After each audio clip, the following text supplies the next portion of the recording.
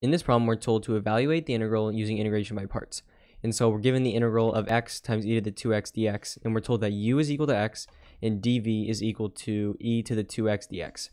So in order to solve this problem, you need to know this formula, or the formula for integration by parts. It's going to be equal to u times v minus the integral of v times du. So this is the formula we're going to use to solve. And so notice how we're given u and we're given dv. But notice how we need to find du and v. And so we're going to use these values that they give us in order to actually solve for them. So just first write down what you're given. So u is equal to x, and then we know dv is equal to e to the 2x dx. And so we're trying to find du and v. So du and v. So what is du? du is just going to be the derivative of u, and so it's just x. The derivative of x we know is just 1. And so it's just going to be 1 dx. I'm just going to write it as dx though. And then what's the, so they give us dv and we need to find v. And so we can do this by taking the integral of e to the 2x. So if we're trying to take the integral of e to the 2x dx, what we can do is use u substitution. So u is equal to 2x, right? And then we got to take the derivative of it, which is just going to be 2 dx. And then if we divide both sides by 2, dx is essentially du over 2.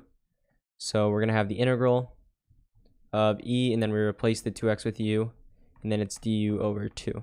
So we can move this out front, 1 half e to the u du, and then we got to replace, we got to take the integral of it, right? So the anti antiderivative, which is going to be 1 half e to the u, it doesn't change, right? And then plug back in. So it's essentially just 1 half e to the 2x.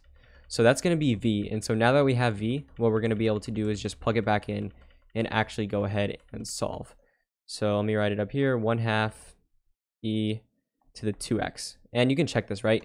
If we want to take the, if we take the derivative of this, it should give us this, right? So e to the 2x, you take the derivative of your outside function, which is e to the x, stays e to the x, and then just multiply it by 2, right? So we multiply by the derivative of our inside, which is 2. 2 times 1 half is 1, right? So it just becomes e to the 2x. That's just a way to check it, though, to make sure you're right. And then now that we've got everything, we can just go ahead and plug it in. So what's u? We know u is going to be x, right?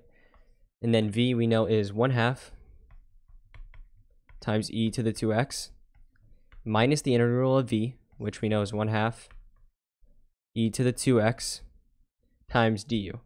And so we know du is just dx. So if we want to solve this one now, all we have to do is take uh, the integral of this, right? So let's rewrite this x times 1 half e to the 2x minus, and then we got to take the integral of this.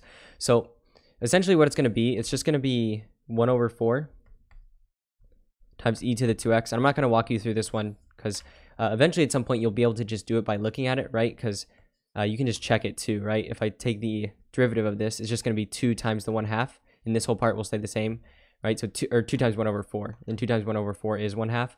So hopefully you'll get to a point where you don't need to use u substitution to solve them because they're going to get a lot more complicated. But essentially it's just going to be x times 1 half e to the 2x minus uh, the integral or the integral of this right here, right? Which is 1 over 4 e to the 2x. And then don't forget whenever you do these, you have to add c. So this right here is going to be your final answer, and hopefully you found this useful.